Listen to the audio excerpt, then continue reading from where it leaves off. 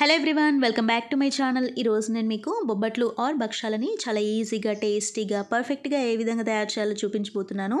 నేను చెప్పే కొన్ని టిప్స్ పాటిస్తూ మీరు ఈ బొబ్బట్లను ట్రై చేసినట్లయితే మీరు ఫస్ట్ టైం చేస్తున్నా సరే ఎంతో పర్ఫెక్ట్గా ఈజీగా చేసేస్తారు. మనకు స్టఫింగ్ ఎక్కడా కూడా బయటికి రాకుండా చాలా పల్చగా నోట్లో వేస్తే ఇట్టే కరిగిపోయేంత టేస్టీగా వస్తాయండి. అచ్చంగా మనకు స్వీట్ షాప్ స్టైల్లో ఈ బొబ్బట్లని ఇంట్లోనే ప్రిపేర్ చేసుకోవచ్చు. సో ఆ తయారీ విధానం ఏంటో ఇప్పుడు చూద్దాము. ముందుగా ఒక బౌల్ తీసుకొని ఇందులోకి ఒక కప్పు శనగపప్పు వేసుకోవాలి. ఇక్కడ నేను ఇదే కప్తో అన్ని మెజర్ చేస్తున్నానండి. ఇది వచ్చేసి వన్ ఫిఫ్టీ ఎంఎల్ వరకు ఉంటుంది. ఇలా పప్పు వేసిన తర్వాత నీళ్ళు పోసుకొని రెండుసార్లు శుభ్రంగా కడిగి పెట్టుకోండి. ఆ తర్వాత ఇదే కప్తో ఒక కప్పు నీళ్ళు పోసుకోవాలి. దీన్ని ఒక పది నుంచి పదిహేను నిమిషాల పాటు నాననివ్వాలి. ఇంతలోపు పిండిని కలుపుకోవడానికి వేరొక బౌల్ తీసుకొని ఇందులోకి ఒకటిన్నర కప్పుల మైదా పిండి వేసుకోవాలి. మనం ఏ కప్పుతో అయితే శనగపప్పు తీసుకున్నామో అదే కప్పుతో ఒకటిన్నర కప్పుల మైదా పిండి తీసుకోండి. మీరు గోధుమ పిండి అయినా కూడా వేసుకోవచ్చు. ఇందులోకి చిటికడంతా ఉప్పు వేసుకోవాలి.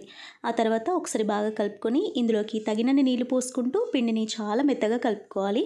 మనకు పిండి కలుపుకునే విధానంలోనే ఉంటుంది. బొబ్బట్లు పర్ఫెక్ట్గా రావడం. సో పిండిని మనం ఎంత చక్కగా కలుపుకుంటామో మనకు బొబ్బట్లు అంత బాగా వస్తాయి. సో చూడండి ఈ విధంగా పిండిని కలుపుకున్నాం కదా. ఇక్కడ నేను కొంచెం పసుపు వేయడం మర్చిపోయానండి. మీరు మొదట్లోనే పసుపు వేసుకోండి. అంటే ఉప్పు వేసిన తర్వాత ఒక చిటికడంత పసుపు వేసినట్లయితే మనకు బొబ్బట్లు మంచి కలర్లోకి వస్తాయి. సో ఇక్కడ నేను కొద్దిగా పసుపు వేస్తున్నాను. పసుపు వేసిన తర్వాత ఒకసారి బాగా కలుపుకోండి. ఇప్పుడు ఇలా పిండిని కలుపుకున్న తర్వాత ఇందులోకి కొద్ది కొద్దిగా నూనె వేసుకుంటూ చపాతీ పిండిని బాగా కలుపుకోవాలి. ఇలా మధ్య మధ్యలో కొద్ది కొద్దిగా నూనె వేసుకుంటూ పిండిని బాగా కలుపుకోవాలి. ఎంతవరకు కలుపుకోవాలి అంటే ఈ పిండి మనం కలిపేటప్పుడు చేతికి అతుక్కోకుండా ఉంటుంది. అలా వచ్చేంత వరకు మధ్య మధ్యలో కొద్ది కొద్దిగా నూనె వేసుకుంటూ బాగా కలుపుకోండి. ఇక్కడైతే నాకు ఒక మూడు స్పూన్ల నూనె పట్టింది. సో చూసారు కదా ఇప్పుడు చేతికి అతుక్కోకుండా వచ్చేసింది పిండి. ఇలా అయితే కరెక్ట్గా ఉన్నట్టు. ఇలా కలిపిన తర్వాత ఒక తడి క్లాత్ వేసుకోండి. దానిపైన మూత పెట్టుకొని ఈ పిండిని గంట పాటు నాననివ్వాలి. ఇలా చూడండి పదిహేను నిమిషాల తర్వాత ఈ పప్పుని నీళ్ళతో సహా ప్రెషర్ కుక్కర్లోకి వేసుకోవాలి. ఆల్రెడీ మనం ఒక కప్పు నీళ్ళు పోసుకున్నాం కదా ఇంకొక కప్పు నీళ్ళు పోసుకొని ప్రెషర్ కుక్కర్కి మూత అలాగే విజిల్ పెట్టి మూడు నుంచి నాలుగు విజిల్స్ వచ్చేంత వరకు ఉడికించుకోవాలి. ఇక్కడ మీకు ఉడికిన తర్వాత చూపిస్తున్నాను చూడండి ఈ విధంగా మెత్తగా ఉడకాలన్నమాట. మనం తుంచితే ఈజీగా ముక్కలుగా అయిపోవాలి. సో ఇంత సాఫ్ట్గా ఉడికించుకోవాలి. ఇప్పుడు ఇందులో ఉన్న రిమైనింగ్ వాటర్ని ఈ విధంగా స్ట్రెయిన్ చేసి పెట్టుకోండి. ఇలా నీళ్ళన్నీ పోయిన తర్వాత కాసేపటికి పప్పు కొంచెం చల్లారుతుంది. ఇలా చల్లారిన తర్వాత ఒక మిక్సీ జార్ తీసుకొని ఇక్కడ నేను బ్యాచెస్గా పప్పుని గ్రైండ్ చేస్తున్నాను. మనం మసాలా పట్టుకునే మిక్సీ జార్ ఉంటుంది చూడండి. ఆ మిక్సీ జార్లో వేసి మెత్తగా ఈ విధంగా గ్రైండ్ చేసుకోవాలి. ఇలా మిక్సీ పట్టుకున్న ఈ మిశ్రమాన్ని ఒక బౌల్లోకి తీసేసుకోవాలి. రిమైనింగ్ పప్పు ఉంది కదా దాన్ని కూడా మిక్సీ పట్టుకొని ఇదే బౌల్లోకి తీసుకొని పక్కన పెట్టేసేయండి. ఆ తర్వాత ఇంకొక బౌల్ తీసుకొని ఇందులోకి ఒకటి పావు కప్పు బెల్లం తురుము వేసుకోవాలి. మనం ఒక కప్పు శనగపప్పు తీసుకున్నాం కదా కొంచెం స్వీట్గా ఉండడానికి ఒకటి పావు కప్పు బెల్లం తురుము వేసుకోవాలి. ఇప్పుడు ఈ గిన్నెని స్టవ్ పైన పెట్టుకోండి. ఇందులోకి కాస్త వాటర్ వేస్తున్నాను. అంటే ఒక్క టీ స్పూన్ వేస్తున్నాను. మరీ ఎక్కువగా వేయకూడదు. ఇప్పుడు ఈ బెల్లాన్ని కరిగించుకోవాలి. సో చూస్తున్నారు కదా బెల్లం అంతా కూడా కరిగిపోయింది. ఇప్పుడు దీన్ని వేరొక ప్యాన్లోకి ఈ విధంగా ఫిల్టర్ చేసుకోవాలి. ఎందుకంటే ఇందులో డస్ట్ పార్టికల్స్ ఉంటాయి కాబట్టి ఖచ్చితంగా ఫిల్టర్ చేసుకోండి. ఈ విధంగా ఫిల్టర్ చేసుకున్న తర్వాత ఇందులోకి పావు చెంచా యాలకుల పొడి వేసుకోవాలి. యాలకుల పొడి వేసిన తర్వాత ఒకసారి బాగా కలుపుకోండి. ఇప్పుడు ఇందులోకి మిక్సీ పట్టి పెట్టుకున్న పప్పు మిశ్రమాన్ని కొద్ది కొద్దిగా వేసుకుంటూ ఉండలు లేకుండా బాగా కలుపుకోవాలి. ఇలా ఫస్ట్ వేసిన ఈ మిశ్రమం అంతా బాగా కలిసిన తర్వాత మాత్రమే మరి కాస్త పప్పు మిశ్రమం వేసుకొని ఉండలు లేకుండా బాగా కలుపుకోండి. మంటని లో ఫ్లేమ్లో పెట్టుకొని మాత్రమే దీన్ని కలుపుకోవాలి. ఇలా చూడండి ఈ మిశ్రమం మొత్తం ఉండలేకుండా కలుపుకున్నాం కదా ఇప్పుడు మిగిలిపోయిన పప్పు మిశ్రమాన్ని కూడా వేసేసుకోండి. దీన్ని కూడా బాగా కలుపుకోవాలి. ఇలా మొత్తం అంతా కలిసిన తర్వాత స్టవ్ ఆఫ్ చేసుకోండి. ఇందులోకి నేను కొద్దిగా నెయ్యి యాడ్ చేస్తున్నాను. నెయ్యి ఎక్కువ ఇష్టమైతే మరి కాస్త ఎక్కువ కూడా వేసుకోవచ్చు. నెయ్యి వేసిన తర్వాత మళ్ళీ ఒక్కసారి మిక్స్ చేసేసుకోండి. సో చూస్తున్నారు కదా మనకు పూర్ణం రెడీ అయిపోయింది. పూర్ణం కన్సిస్టెన్సీ చూడండి ఈ విధంగా చాలా సాఫ్ట్గా ఉండలాగా రావాలి. మరీ లూజ్గా ఉండకూడదు. ఈ కన్సిస్టెన్సీ ఉంటే సరిపోతుంది. తర్వాత మనం పిండి నానిందో లేదో చూద్దాము. చూడండి గంట తర్వాత చూసినట్లయితే పిండి బాగా నానిపోయింది.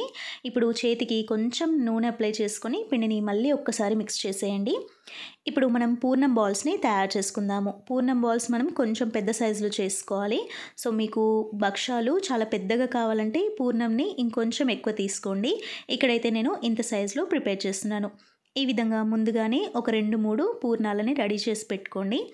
ఆ తర్వాత కాస్త పిండి ముద్ద తీసుకోవాలి. మనం తీసుకున్న పూర్ణం సైజ్ కంటే కొంచెం తక్కువగా పిండిని తీసుకోండి. ఇక్కడ నేను పిండిని ఒత్తుకోవడానికి బటర్ పేపర్ వాడుతున్నాను. మీ దగ్గర బటర్ పేపర్ లేకపోయినట్లయితే ప్లాస్టిక్ కవర్ కానీ ఆయిల్ ప్యాకెట్ పైన కూడా మనం ఒత్తుకోవచ్చు. ఈ విధంగా కాస్త పిండిని వెడల్పుగా చేసుకొని తయారు చేసుకున్న పూర్ణాన్ని ఈ విధంగా మధ్యలో ఉంచాలి. ఆ తర్వాత చుట్టూరా పిండిని నేను వీడియోలో చూపిస్తున్నట్టుగా ఈ విధంగా దగ్గరగా తీసుకురావాలి. ఇప్పుడు ఈ ఎక్స్ట్రా పిండిని అంతా కూడా ఈ విధంగా ట్విస్ట్ చేసుకుంటూ పైకి తీసుకురావాలి. సో ఇలా ఈ ఎక్స్ట్రా పిండి అంతా కూడా దగ్గరగా నొక్కి పట్టి తీసేయండి. ఇలా ఈ ఎక్స్ట్రా పిండి తీసేసిన తర్వాత మళ్ళీ దీన్ని రౌండ్గా చుట్టుకోవాలి.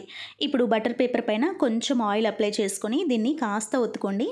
ఈ విధంగా కొంచెం వెడల్పుగా చేసిన తర్వాత దీనిపైన ఇంకొక ప్లాస్టిక్ షీట్ పెట్టుకొని చూడండి ఇప్పుడు నేను వీడియోలో చూపిస్తున్నట్టుగా జస్ట్ మనం చేత్తోని ఈ విధంగా అంటే చాలు.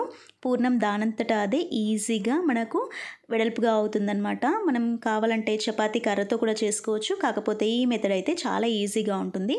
సో చూడండి ఈ ప్లాస్టిక్ పైన మనం చేత్తోని ఈ విధంగా అన్నట్లయితే ఈజీగా మనకు ఈ పూర్ణం అనేది చూడండి వెడల్పుగా వచ్చేస్తుంది. ఇక్కడ నేను చూపించే మెథడ్లో మీరు బొబ్బట్లని ప్రిపేర్ చేసినట్లయితే ఎన్నంటే అన్ని బొబ్బట్లని చాలా తక్కువ టైంలో ప్రిపేర్ చేసుకోవచ్చు. ఇలా ప్లాస్టిక్ షీట్ తీసేసిన తర్వాత చుట్టూరా మనకు చప్పటి పిండి మిగిలిపోయింది కదా దీన్ని ఈ విధంగా నైఫ్తో కట్ చేస్తున్నాను. సో ఇలా నైఫ్తో కట్ చేసిన తర్వాత ఎక్స్ట్రా పిండి అంతా కూడా తీసేయండి. ఇలా చేసినట్లయితే మనకు ఈ బొబ్బట్టు రౌండ్గా వస్తుంది అలాగే చప్పటి పిండి అనేది ఉండకుండా ఉంటుంది. సో ఇలా ఎక్స్ట్రా పిండి తీసేసిన తర్వాత కొంచెం దగ్గరగా నొక్కండి. మనకు బొబ్బట్టు రెడీ అయిపోయింది ఇప్పుడు దీన్ని కాల్చుకుందాము ఇప్పుడు స్టవ్ పైన పెనం పెట్టుకుని కొంచెం వేడైన తర్వాత నెయ్యి కానీ ఆయిల్ కానీ అప్లై చేసుకోవాలి. ఇప్పుడు తయారు చేసుకున్న బొబ్బట్టుని బటర్ పేపర్తో సహా పెనం పైన పెట్టేయండి. ఇది కొంచెం వేడైన తర్వాత బటర్ పేపర్ దాటంతటా అదే చాలా ఈజీగా వచ్చేస్తుంది. ఆ తర్వాత పైనుండి కొద్దిగా నెయ్యి కానీ నూనె కానీ అప్లై చేసుకోవాలి. మీడియం ఫ్లేమ్లో పెట్టుకొని బొబ్బట్టుని కాల్చుకోవాలి. ఈ బొబ్బట్టుని చపాతీ కాల్చినట్టు ఎక్కువసేపు కాల్చకూడదు. అలా కాలిస్తే గట్టిగా అయిపోతాయి. సో మనకి సాఫ్ట్గా ఉండాలి అంటే చాలా త్వరగా కాల్చుకోవాలన్నమాట. సో చూస్తున్నారు కదా ఈ విధంగా రెండు వైపులా కొంచెం కలర్ వచ్చేటట్టు కాల్చుకున్న తర్వాత ఒక ప్లేట్లోకి తీసేసుకోండి. ఇదే ప్రాసెస్లో మనం ఇంకొక బొబ్బట్టును కూడా తయారు చేసుకుందాము. కొంచెం పిండి ముద్ద తీసుకొని ఈ విధంగా బటర్ పేపర్ పైన కాస్త వెడల్పుగా ఒత్తుకోవాలి. తయారు చేసుకున్న పూర్ణాన్ని ఈ విధంగా మధ్యలో ఉంచుకొని ఈ ఎక్స్ట్రా పిండి అంతా వీడియోలో చూపిస్తున్నట్టుగా ఇలా దగ్గరగా తీసుకురావాలి. ఆ తర్వాత ఎక్స్ట్రా పిండి అంతా ఈ విధంగా ట్విస్ట్ చేసుకుంటూ తీసేయండి. సో కొంచెం జాగ్రత్తగా ఈ ఎక్స్ట్రా పిండి అంతా కూడా తీసేయాలి. ఆ తర్వాత మళ్ళీ దీన్ని రౌండ్ బాల్ లాగా చుట్టుకొని కొంచెం వెడల్పుగా ఒత్తుకోండి. ఇలా కాస్త వెడల్పుగా ఒత్తుకున్న తర్వాత పైన ఇంకొక ప్లాస్టిక్ షీట్ పెట్టుకొని వీడియోలో చూపిస్తున్నట్టుగా చేత్తోని ఈ విధంగా ఒత్తుకోవాలన్నమాట. రౌండ్గా తిప్పుకుంటూ ఎక్కడా కూడా మనకు పిండి లావుగా ఉండకుండా చాలా పల్చగా వచ్చేటట్టు మీకు వీలైనంతగా ఈ విధంగా స్ప్రెడ్ చేసేసుకోండి. మనం పూర్ణాన్ని ఇంకొంచెం పెద్ద సైజులో తీసుకున్నట్లయితే బొబ్బట్టు ఇంకాస్త పెద్దగా వస్తుంది. మీకు వీలైనంత పలుచగా ఈ పిండిని స్ప్రెడ్ చేసుకున్న తర్వాత ఈ ప్లాస్టిక్ షీట్ తీసేయండి. మీకు చప్పటి పిండి రౌండ్గా ఎక్కువగా ఉంది అనిపిస్తే ఇంతకుముందు చెప్పినట్టుగా చాక్తోని ఈ చప్పటి పిండి అంతా కూడా కట్ చేసేసుకోండి. సో చూడండి మనకు బొబ్బట్టు రెడీ అయిపోయింది. ఇప్పుడు దీన్ని కూడా కాల్చుకుందాము. పెనం పైన కొంచెం నెయ్యి కానీ ఆయిల్ కానీ వేసిన తర్వాత ఈ బటర్ షీట్తో సహా బొబ్బట్టును పెనం పైన వేసుకోవాలి. కొంచెం వేడెక్కిన తర్వాత ఈ బటర్ షీట్ని తీసేయండి.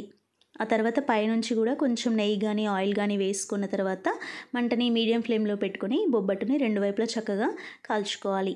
సో ఇదే ప్రాసెస్లో మిగిలిపోయిన బొబ్బట్లన్నీ కూడా ప్రిపేర్ చేసుకోవాలి.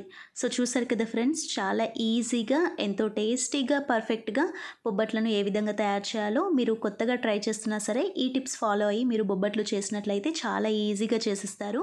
చూసారు కదా ఫ్రెండ్స్ మనకు ఎంతో టేస్టీగా ఉండే బొబ్బట్లు ఆర్ భక్ష్యాలు ఏ విధంగా తయారు చేయాలో ఈ వీడియో చూసి మీరు ఈ ఉగాది పండుగకి బొబ్బట్లని ప్రిపేర్ చేయండి. వీడియో కనుక నచ్చినట్లయితే లైక్ చేయండి షేర్ చేయండి. కొత్తగా ఎవరైనా ఛానల్ని చూస్తున్నట్లయితే ఛానల్ని సబ్స్క్రైబ్ చేసుకోండి. పక్కనే ఉన్న బెల్ ఐకాన్ యాక్టివేట్ చేస్తే నేను వీడియో పెట్టగానే నోటిఫికేషన్ వస్తుంది. Thanks for watching